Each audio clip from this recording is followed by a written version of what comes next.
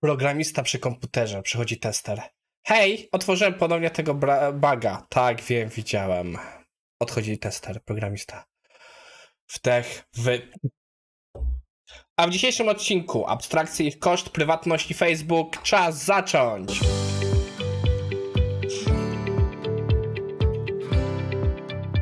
Cześć, to jest odcinek na 16 grudnia 2022. Zaraz święta i to jest ostatni weekend przed świętami.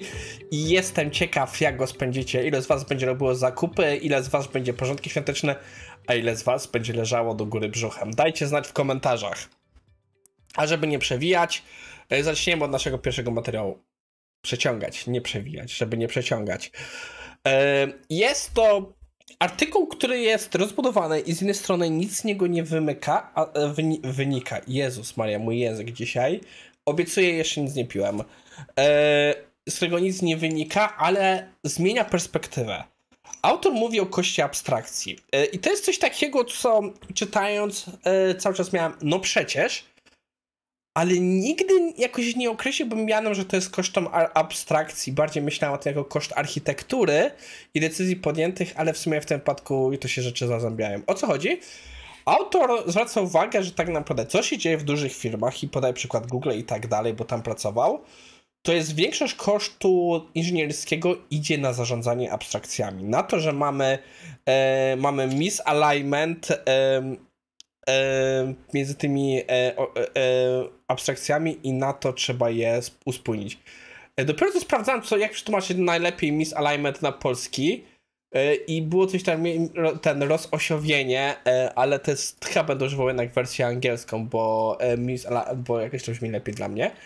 I autor właśnie zwraca uwagę, podaje przykłady, że tak naprawdę z naszej perspektywy, jeśli chodzi o właśnie nasze abstrakcje, to się wchodzą trzy rzeczy.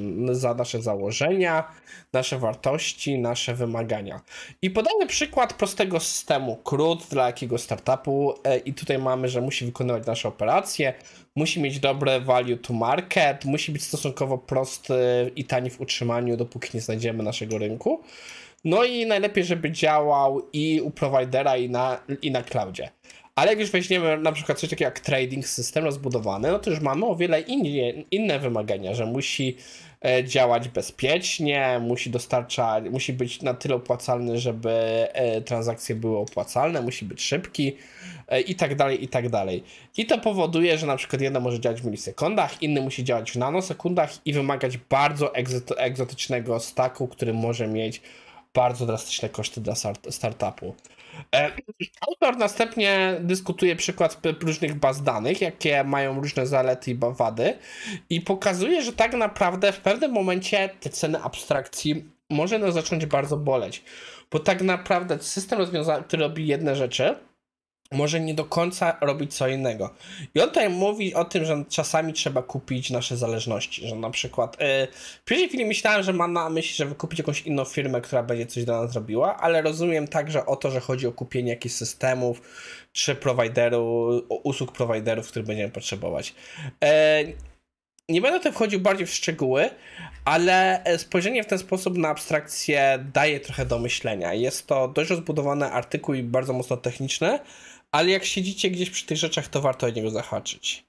Nasz drugi artykuł, e, oczywiście reklama nam się wyświetliła, e, to jest coś, co mnie e, dosłownie przez przypadek znalazłem.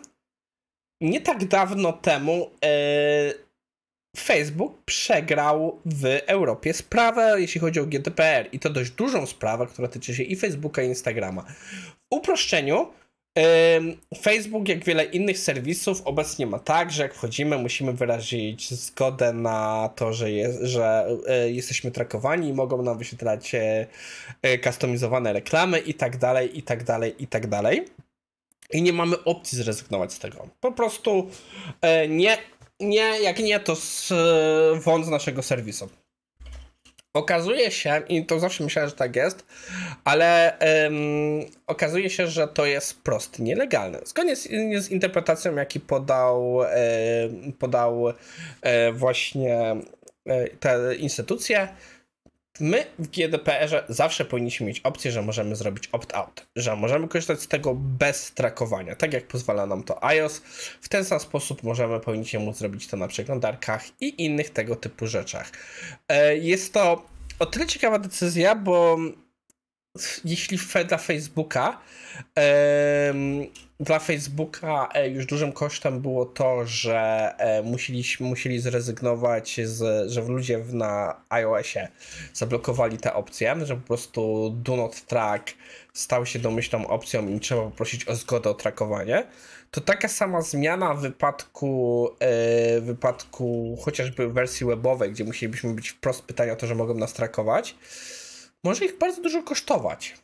Więc jestem ciekaw, jak to się potoczy dalej, e, bo nie zrozumiałem z tego posta, jak szukałem informacji, e, czy oni mają jakieś prawo odwołania, bo może się okazać, że Facebook wyjdzie z Europy.